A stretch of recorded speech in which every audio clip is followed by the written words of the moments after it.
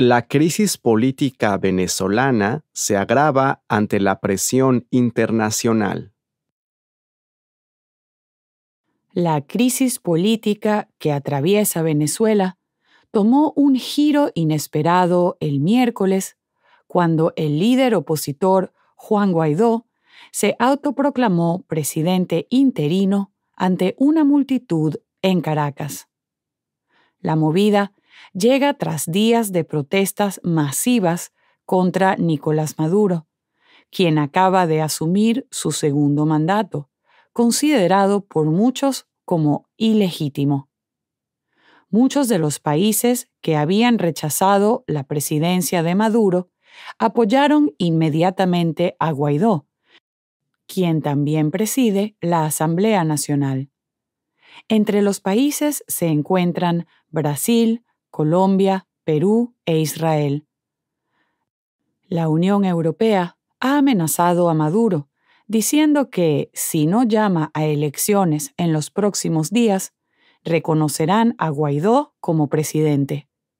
El domingo, Maduro respondió diciendo que nadie puede darnos un ultimátum. Donald Trump también apoya a Guaidó, lo cual ha llevado a que Maduro rompa relaciones diplomáticas con Estados Unidos. El secretario de Estado, Mike Pompeo, instó a que cada nación escoja un bando y que corte los lazos económicos con el gobierno de Maduro. Realmente no me vi venir todo esto que pasó en la última semana, María. Ha sido una verdadera sorpresa para mí también, Noé. Pero me vas a decir que estás contenta. Claro que estoy contenta. Sabes que quiero un cambio en Venezuela, porque la gente está sufriendo mucho.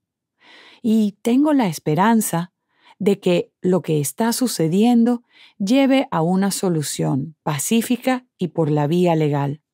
Claro, pero yo no entiendo cómo alguien puede autodeclararse presidente solo porque tiene el apoyo de un sector de la política y los ciudadanos.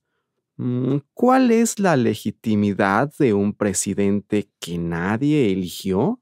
La movida es legítima, Noé. Guaidó es el presidente de la Asamblea Nacional, que fue elegida por la mayoría de los venezolanos. Y a Maduro nadie lo eligió, porque las elecciones fueron fraudulentas. Lo recuerdo.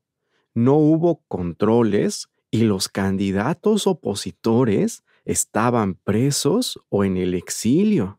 Exacto.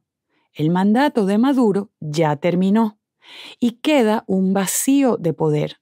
En ese caso, la Constitución establece que el presidente interino es el presidente de la Asamblea y su función será llamar a elecciones.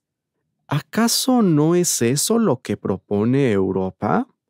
Elecciones anticipadas con presencia de todos los partidos opositores y controles internacionales. Sí, pero eso no va a suceder con Maduro.